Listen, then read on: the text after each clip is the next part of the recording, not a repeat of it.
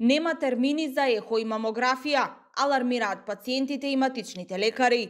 И годинава во месецот посветен на борба против ракот на дојка, од една страна здравствените власти апелираат жените да прават редовни превентивни прегледи за навреме да се открие и третира болеста, но од друга страна термини за снимање нема со месеци. Валентина Панева, долгогодишен онколошки пациент од Штип, за телевизија 24 вели дека е свесна за алармантната ситуација во здравството и затоа благовремено бара термини за редовните контроли кои мора да ги прави. Знам дека треба, на пример, мамограф да правам во ноември, уште од септември на мојата матична реагирам дека ќе ми треба термин таа лове се што е у на моќ.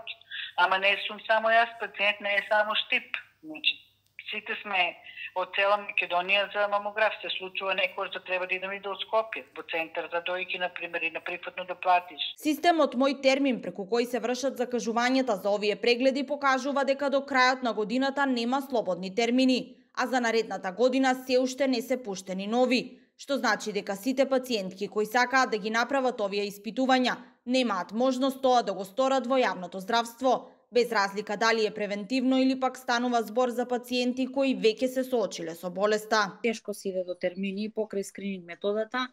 Јасно е зошто, заради тоа што во распад ни е целиот здравствен систем, пука по сите шавови, а, имаме болници, немаме кадар, има, да речеме, кадар, нема апаратот не работи. Значи, јас пратив пациентка до Штип, каде што системот ми дозволи, беше со карцином одамна оперирано, но мора редовни контроли.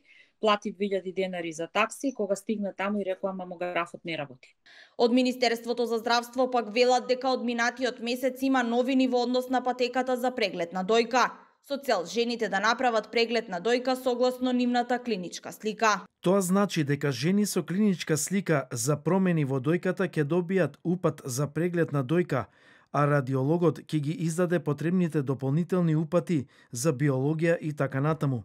Со ова се олеснува пристапот на жените до потребната здравствена услуга. Скринингот за рак на дојка ќе продолжи како дел од патеката со цел да се поделат навидум здравите жени кои припаѓаат во скрининг и жени со итна потреба од радиолошки преглед, и тоа пред и по операција во тек на онколошки третман, како и по новонастанатата промена на дојката. Инаку алармантни се податоците од Институтот за јавно здравје за лица починати од рак. Лани 356 жени починале од рак на дојка, што речиси во просек е по една жена на ден, а во 2010 година битката со болеста ја загубиле 310 пациенти, додека во 2011 272 пациентки.